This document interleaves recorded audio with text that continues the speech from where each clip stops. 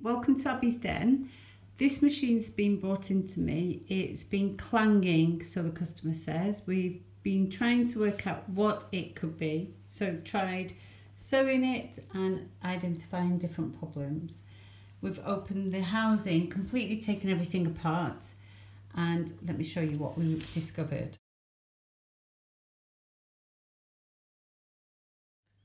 Okay, the needle's hitting the hook, this hook here. Of the, so as that comes round, and the needle comes down and it's at that point there, touching the needle. You can't actually see it very well, but you can hear it. So if we just be quiet for a second.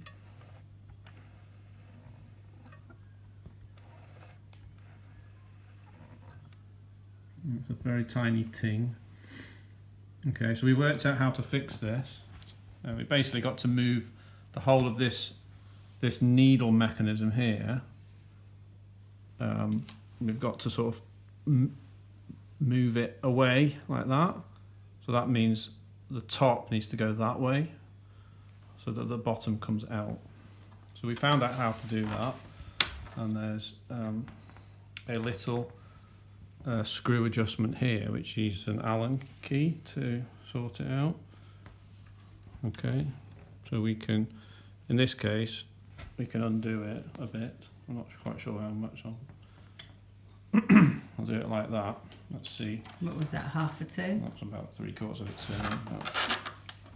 You really, um, so for now, look again. Well, the only way you can see whether it's fixed is if it, the ting has gone away. So it's still tinging, just a little bit less. So if I adjust it a bit more, I'm going to do another half turn. Okay, so we're going to put it back together and test it. Yeah. Okay. Because the other thing I have to remember is that it it also this in the middle position as well. So you should really check it at all positions. That's it, we'll stay there. So if we put the needle over to the left.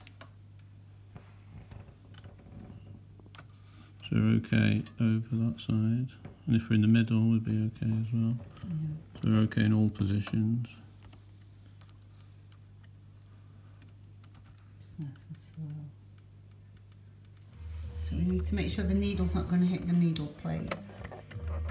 And it's just touching it. So what we need to do is just get the Allen key back and rewind some of the movements. So we went anti-clockwise before, so we need to go clockwise.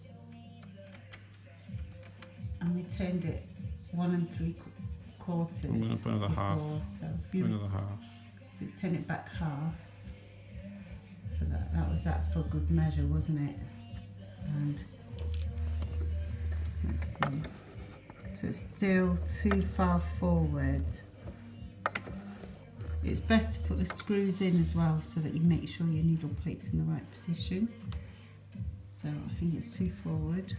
So just turn it back. I'll do a quarter now.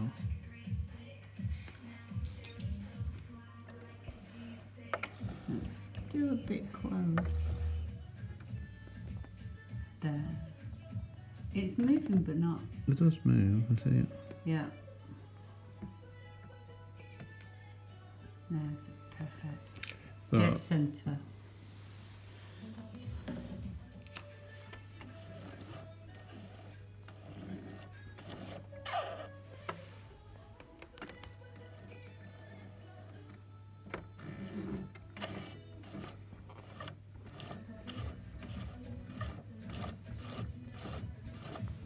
Sounds great, doesn't it?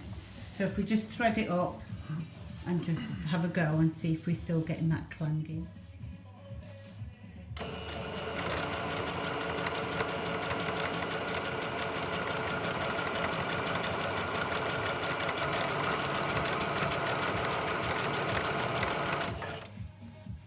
So we can check if the timing has been affected by doing this as well. Flip it over so we can check? It's perfect, isn't it? Great. Do you want to show us how to do the tension? So if the tension does get affected, set the tension at the top to auto and there's a tiny screw inside the bobbin that you can access through this little hole and you can just alter the tension there. We're not going to change it but if it does get affected you can use that screw inside there and make sure you get an even stitch on both the front and the back. Great.